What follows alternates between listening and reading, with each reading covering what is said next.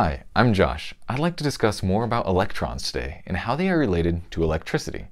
First, perhaps the most important thing you should understand about electrons is that they hate each other.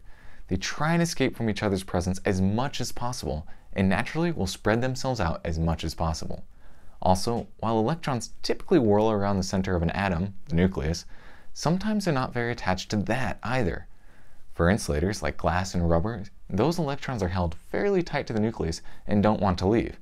But for conductors like copper, these electrons aren't very tightly held, and where there are a lot of copper atoms together, you can think of the electrons as a sea, with the electrons moving about freely among the atoms. In this sea, the electrons are still trying to get away from each other, and using this property, you can do work.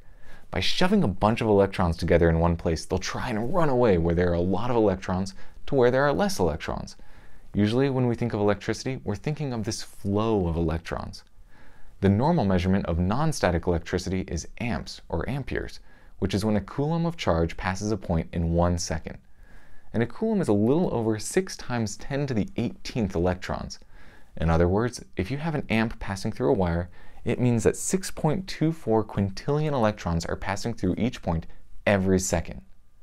The interesting thing about this electron movement is that it is super slow, less than a millimeter per second. But when you turn on your light, it turns on immediately, even though the switch and the light are very far apart.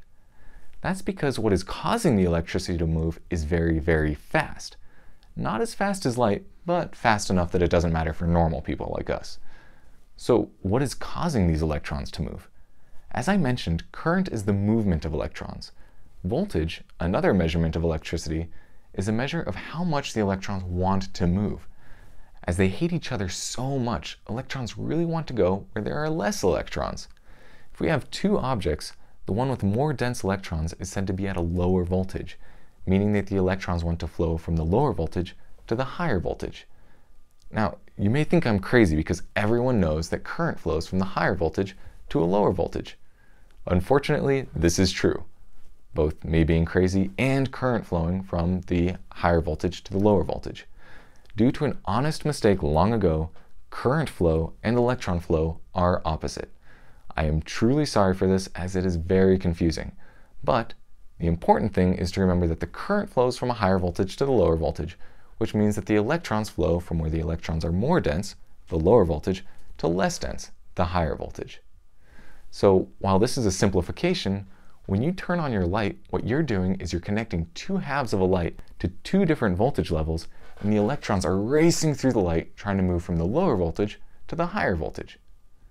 So we've covered a lot in this video, how electrons are connected to their nucleus, their fraternal hatred, and how we can use that hatred to do work, and how electrons flow opposite from the current.